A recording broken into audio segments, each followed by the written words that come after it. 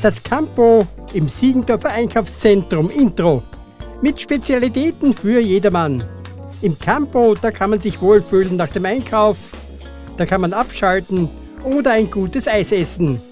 Das Campo ist ja der Eiskreisel Nummer 1 des Burgenlandes im Einkaufszentrum Intro. Und es widmet Ihnen dieses Spitzenspiel. Eins so hoffen wir alle, Ende der Corona-Zwangspause macht es nach langer Zeit möglich, dass es wieder zu Pflichtspielen im Fußball-Burgenland kommt. Und damit zum Ehrenankick durch Landtagsabgeordnete Stenger beim Spiel der ersten BV-Cup-Runde im Siegendorfer Wetter Sportpark. ASV Siegendorf in Rot gegen den SC Eisenstadt Neu. Da treffen viele Jahrzehnte Tradition aufeinander. Siegendorf seinerzeit in der Staatsliga B aber auch Namen aus Siegendorf, wie etwa Alfred Eisele oder Tommy Baritz, schrieben etliche Kapitel österreichischer Fußballgeschichte. Die und Eisenstadt, das war der Klangkörper oder das Flaggschiff der Burgenländer in der Bundesliga. Anfangs merkt man den Unterschied zwischen der Burgenlandliga und der zweiten Klasse, wo die Hauptstädter nun einen Neubeginn starten, nicht. Da geht Siegendorf durch Neuerwerbung. Ivan Kovacic in Minute 19 mit 1 zu 0 in Führung.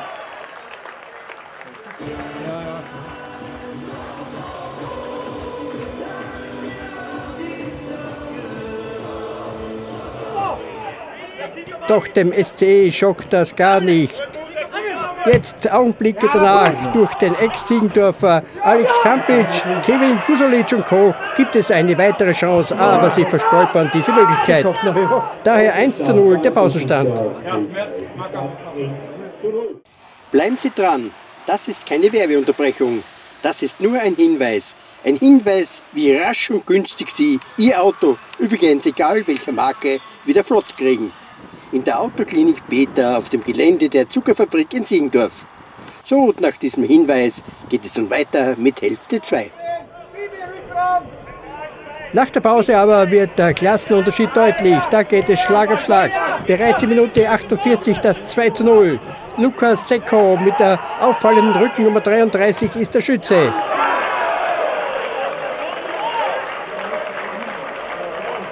Beinahe Sekunden später schon Tor Nummer 3. Ähnlich wie bei der Euro gibt es auch in Siegendorf solche kaum vermeidbaren Eigentore. Matthias Kusolic, der Abwehrchef und Kapitän des SCE und dessen Kollegen sind hier machtlos. Das 3 zu 0 gilt. Und weiter geht die Torparade.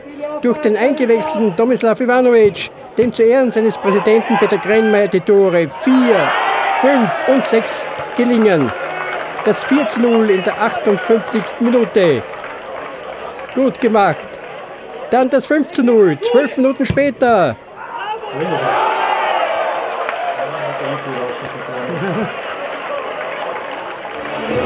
Und schließlich noch das 6 zu 0 in Minute 79. Das halbe Dutzend ist voll, verkündet Blattsprecher-Ikone Wolfgang Sorger. Der auch er kommt erst später ins Spiel. Siegendorfs Fußballgott, wie er dort genannt wird. Ihm gelingt sechs Minuten vor Ende der regulären Spielzeit das 7 zu 0. Das 7 zu 0 also durch Florian Friedholm. Die Reds wollen es zweistellig und probieren es. Dabei muss man aber den Ex-Mattersburger alles Höller zu Fall bringen. Zum Leidwesen des SC im Strafraum. Und der Gefaulte tritt selbst zur Exekution an. Ja, und drinnen ist der, der Ball im Eisenstädter Gehäuse, Minute 86, das 8-0 also. Dann setzt noch einmal Seko nach. Sein zweiter Treffer in dieser Cup-Runde bedeutet das 19-0 für den ASV Siegendorf. Nach dem Ausgehen der Flutlichter gibt es freudige, aber auch lange Gesichter. Rolli Wissak stand seinerzeit als Spieler in den Reihen erfolgreicher Eisenstädter. Heute steht er am Rande des Spielfeldes als Trainer einer jungen Eisenstädter Truppe und meint, ja, es ist ein Wunsch äh, immer gewesen, einen Abschluss mit Eisenstadt als Trainer vor allem zu machen. Ähm, jetzt nach der 9-0-Niederlage ist es ein bisschen schwer, die richtigen Worte dazu zu finden. Weil ich muss ganz ehrlich meiner Mannschaft vor allem erste Halbzeit ein großes Kompliment aussprechen. Wir haben uns taktisch gut eingestellt auf den Gegner, haben die Räume gut schließen können. Ja, uns war bewusst, sage jetzt einmal, dass uns irgendwann die Kräfte äh, Ausgehen. Ausgehen, danke. Genauso wie mir. Äh, ich habe alles gegeben auf, den, auf der Seite. äh, eingeteilt. Aber jetzt gleich nach dem Match, muss ich ganz ehrlich sagen, bin ich ein bisschen enttäuscht, weil aus meiner Sicht äh, die, die Niederlage eine Spur zu hoch war, weil wir Eigenfehler produziert haben. Wir haben es den Gegner viel zu einfach nachher gemacht. Aber ja, aus dem können wir nur lernen. Es ist keine Schande gegen Siegendorf, die eine super Truppe hat, ja, vor allem in der Offensive. Äh, 9-0 zu verlieren, aber trotzdem tut es mir weh, weil er ehrgeizige Trainer bin und eine gute Mannschaft hat. Und ja, wichtig ist die Meisterschaft. Wir fokussieren uns natürlich auf die Meisterschaft, die beginnt nächste Woche und wir hoffen, dass wir aus diesem Spiel auch unsere Lehren ziehen können. Josef Küper, Chefcoach der Siegendorfer Startruppe, freut sich zwar über das 19-0, allerdings blickt er lieber in die Zukunft. Viele Stars sind jetzt weg, wurden ersetzt durch unbekanntere Spieler. Wie sieht man das jetzt so? Wie kommt man damit zurande? Sehr gut kommen wir zurande damit. Es ist, wir sind eine zusammengeschweißte Einheit geworden und im Großen und Ganzen bin ich sehr zufrieden, dass es so gekommen ist, wie es ist. Dober fällt natürlich hinten. Ja, wir haben in Stoldorf mit ein paar zwei sehr gute Innenverteidiger geholt, also das sehe ich nicht so. Und das 19-0 bringt natürlich Auftrieb jetzt für die nächste Cup-Runde gegen die Kärntner. Äh, obwohl das ein ganz anderes Spiel ist, das wissen wir, aber trotzdem jedes Tor bringt natürlich ein bisschen Selbstvertrauen und das können wir sicher am Dienstag gebrauchen und wir wollen dort natürlich auch gewinnen. In der ersten Hälfte hat man ein bisschen Schwierigkeiten gehabt. Die Eisenstädter sind nicht schlecht gestanden hinten, aber in der zweiten Hälfte war natürlich Siegendorf der Dominator. Ja, und auf jeden Fall. Also die erste Halbzeit haben wir auch viele Chancen gehabt, haben es nicht reingemacht. Zweite haben wir dann, ist Eisen immer mehr müde geworden, haben sich sehr, sehr viele Fehler hinten gemacht, aber das ist halt so im, beim Spiel. Wenn man den Ball lange nachläuft, macht man sehr viele Fehler. Herr Präsident Greinmeier, in Siegendorf ist immer was los.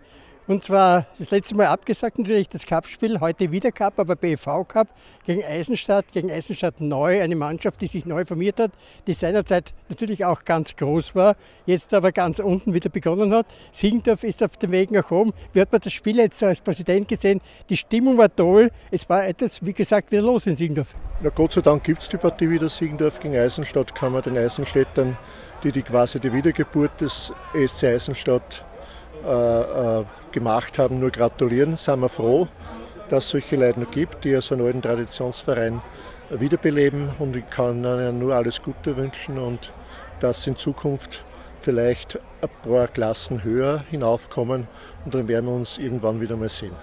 Singdorf hat jetzt abgespeckt, sind einige prominente, bekannte Spieler weg, aber einige andere dazugekommen. Wie sieht man jetzt das? Wird das ausreichen für die Landesliga, jetzt für die Meisterschaft? Ja, ausreichend auf alle Fälle. Also wir sind genauso ein Favorit mit drei, vier anderen wie immer.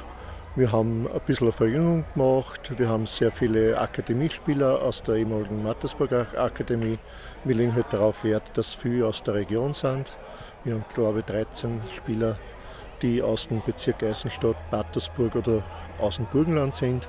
Dazu ein paar gestandene. Also es ist eine gute Mischung, sage ich jetzt einmal so. Und wir sind sehr guter Dinge. Die Stimmung ist prächtig. Alle sind bis auf Kleinigkeiten äh, äh fit. Also wir warten schon auf den Neustart der Burgenlandliga. Top Aqua, das bessere Wasser für Mensch und Tier für meine Kicker nur das beste Wasser. Wasser ist das allerwichtigste Element in unserem Leben. Ohne Wasser können wir nicht existieren, weder Mensch noch Tier noch Pflanzen. Wir von Top Aqua haben hier hervorragende Möglichkeiten geschaffen, um das Wasser vitaler, auch Leitungswasser, auch Brunnenwasser, wieder in den Zustand von ursprünglichem Quellwasser zu versetzen.